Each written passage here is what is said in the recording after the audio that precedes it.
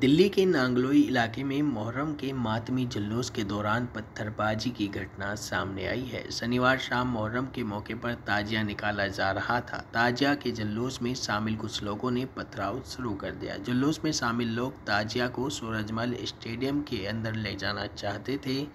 Police ने जुलूस में शामिल लोगों को जब स्टेडियम के अंदर जाने से मना किया तो इसी बात पर जुलूस में शामिल लोग भड़क गए और पथराव शुरू कर दिया।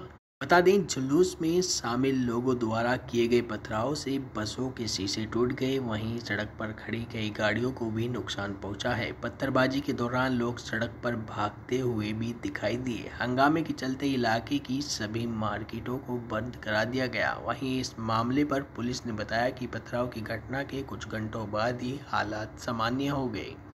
मौके पर बड़ी संख्या में पुलिस फोर्स लगाई गई है। इस मामले में अधिक जानकारी देते हुए पुलिस अधिकारी हरेंद्र कुमार सिंह ने बताया कि शनिवार शाम को ताजिया का जुलूस निकल रहा था। इस जुलूस में करीब आठ से दस हज़ार लोग शामिल थे। डीसीपी ने बताया कि ताजिया का जो जुलूस निकल रहा था, उसका रूट पहले से ही तय किया गया था, लेकिन बाद में जुलूस में शामिल लोग ताजिया को स्टेडियम के अंदर ले जाना चाहते थे। इसे जब पुलिस वालों ने मना किया तो उन्होंने फोर्स पर ही पथराव कर दिया। गाड़ियों में तोड़फोड़ करना शुरू कर दिया। मामला बिगड़ता देख पुलिस ने लाठीचार्ज कर जुलूस में पत्थरबाजी कर रहे लोगों को वहाँ से खदेड़ दिया।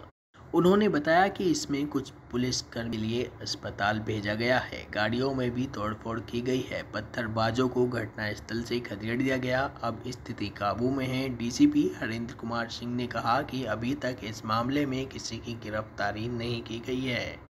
पुलिस आरोपियों की जाँच करेगी, उसी के आधार पर आगे की कार्रवाई की जाएगी। इसमें जो भी दोषी पाई जाएगा, उस पर कड़ी कार्रवाई की जाएगी। ऐसे ही तमाम जानकारी के लिए बने रहिए इन खबर के साथ।